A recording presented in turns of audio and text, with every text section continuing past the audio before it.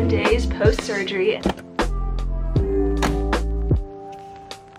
What is up you guys? We have a very special, fun, exciting vlog today. It is Christmas Eve Eve and I'm getting my tonsils out. You might be wondering, why are you doing that? And I just have to. You need like a two week recovery and I basically don't know when else I'll have that. And I need to get them out because long story short, I've had strep or tonsillitis about like six, seven times just this past year and they need to come out. So why I'm vlogging it is because I've watched a bunch of these vlogs to like mentally prepare myself so I thought why not contribute to that. Um, all the comments in like the tonsillectomy vlogs are people that are recovering. It's just like a little community so I thought that I'd form that. I've heard so many things about the recovery but with this vlog maybe I can share some things that help.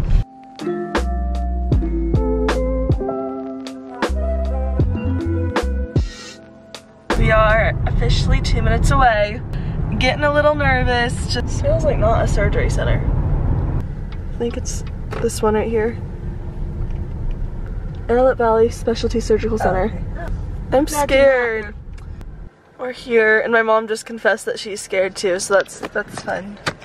You're scared for me? Why? Because I started thinking like you have to go under anesthesia. So as I'm about to go into surgery, I was like, what if there's a rare complication? Sorry. Well, that's obviously where the back of my mind goes I too. Do I have to go by myself? No, I'm not going with you. Wait, we have, I have to pay. I'm scared. Surgery room tour. Oh, did you guys put in another bay? I like to skip a bay. Um, I'm all hooked up. Kind of hurts. I don't know if this is putting me under that.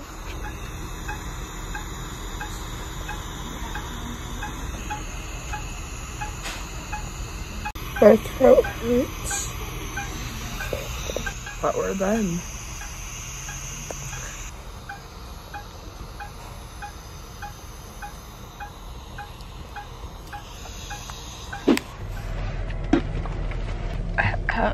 It's kind of hard to talk. Yeah.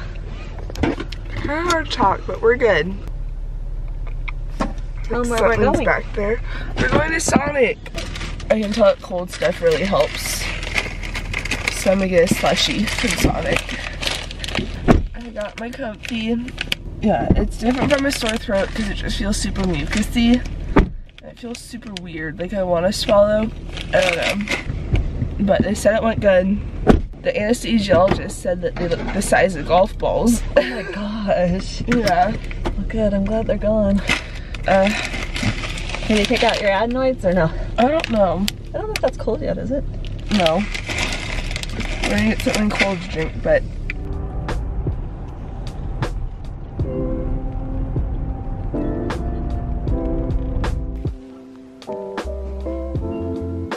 it definitely feels bad and uncomfortable. Okay, I have this ice pack on, but it's the 26th. It sounds like I'm gonna cry, it's just hard to talk. This is the first day that I've been able to like kind of talk. It still hurts and I have to stop. I had butter noodles, so it was like my first somewhat meal and my stomach already feels a lot better, so can't really talk any more than this, but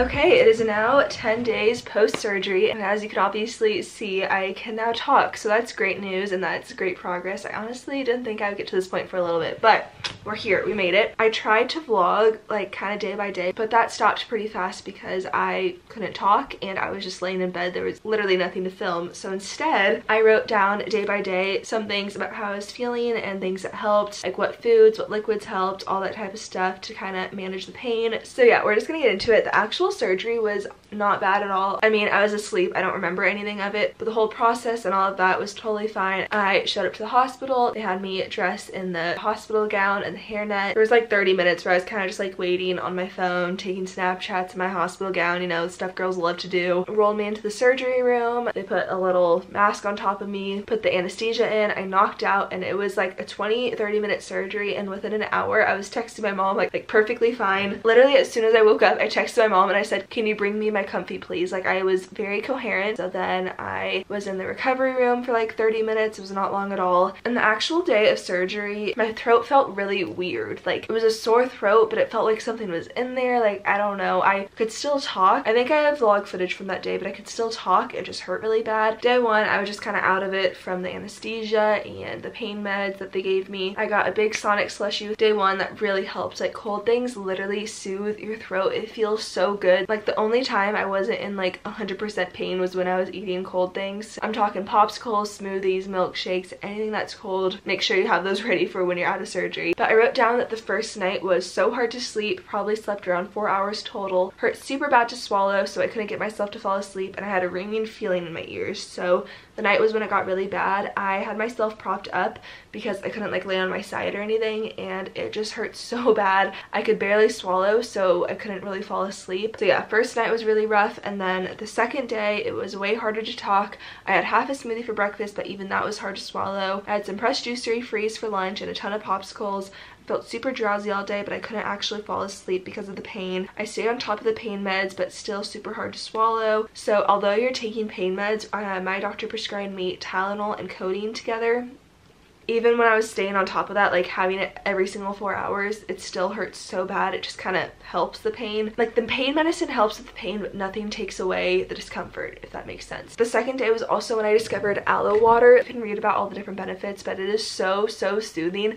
And the only way I could talk was if I drank this before. And so this helped a lot and it was really healing. I feel like because I drink this, I almost like healed faster. I don't know if that's just me thinking that, but get aloe water. It helped me so much. And then on the third day, day, or I guess second day, whichever you want to call it, the 25th, Christmas morning. Yeah, really fun. I, that was definitely the worst. I Mm. That was definitely the worst for me pain-wise and discomfort-wise. I was taking the codeine that the doctor prescribed, but it made me super, super nauseous. So I was up at like 2 a.m. on Christmas morning throwing up because it hurt my stomach so bad and it hurt so bad to throw up because I obviously had these big sores in my mouth. I was just so nauseous and I needed the pain meds to help me like and I don't know it was just so hard. Definitely the worst pain wise and definitely the worst for in terms of nausea but thankfully the doctor answered on Christmas and he sent in a prescription for anti-nausea medicine. 100% help with that but by the 26th I actually stopped taking the codeine that the doctor prescribed. It just made me too nauseous. Body did not like it. I'm going to show you guys what I switched to because it literally saved me. I had these little Tylenol dissolve packs. My mom got them for me and they saved my life because I wasn't able to actually swallow a Tylenol pill. These things were amazing and they worked so fast because they literally just dissolve on your tongue. They didn't taste bad or anything like that. I also had like children's liquid Tylenol for a little but just all the syrupy medicines I was taking was starting to really hurt my stomach. Really recommend stocking up on these before your surgery because I took these every six hours and it really helped the pain. Another thing that helps with the pain is a humidifier. I really recommend getting a cool mist humidifier for next to your bed because the the night is definitely the worst because throughout the day I was forcing myself to drink water like every single hour and that really helped me heal by like constantly coating your throat and keeping it wet but uh, throughout the night you're not drinking water and you're sleeping there with your mouth open so if you have a humidifier that really helps to keep your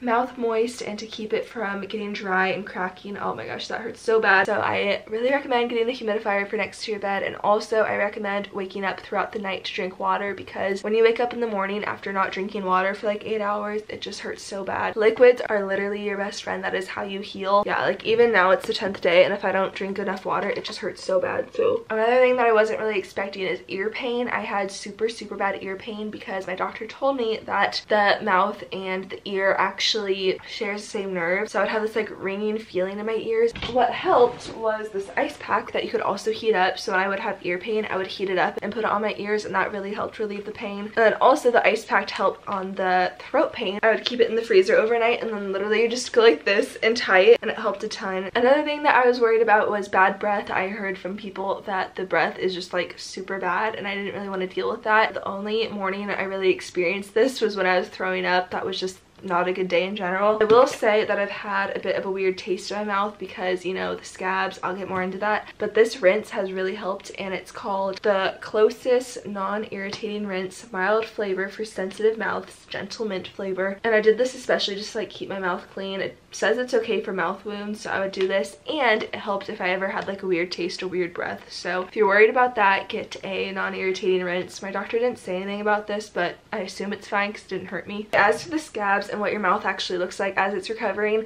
I couldn't actually open my mouth and look at it until like the third day just because it hurt too bad to open my mouth. It doesn't look pleasant, it doesn't look cute, it's just these big white scabs in the back of your throat and I was really scared for the scabs to like fall off. I was like, um, am I gonna swallow them? But it's the 10th day and they're now looking a lot better and I haven't really felt swallowing them or anything like that. It's not uncommon for your mouth to bleed as they're falling off. I haven't experienced that yet, but I'm definitely having some like sharp pain in my left side. I think that's just because the skin is so raw. I'm not saying that I'm like 100% painless yet. I'm still definitely uncomfortable, but it's a lot better and I can talk. It just like slightly hurts now. But yeah, day 10 and I'm pretty much almost back to normal, but that's just pretty much everything. Kind of wanted to go through everything from the surgery to the pain levels and what helped. Definitely get yourself a Cool Mist humidifier, Tylenol dissolve packs, aloe water, and an ice pack, and all the popsicles and cold fluids that you can think of because that is going to be what heals you the fastest. I can definitely say that days one through four are the absolute worst. I saw somewhere that said like days five through seven were, but for me, definitely days one through four, and after that, it gets better. Anyways, I hope this video helps you guys either prep for your surgery or it helps you get through the recovery. Whichever you're going through, comment down below and we can chat about it. If you guys have any questions, I can also answer them in the comments and I will add anything that I forgot down there. That is all. I love you all so, so much and I'll see you guys in my next video.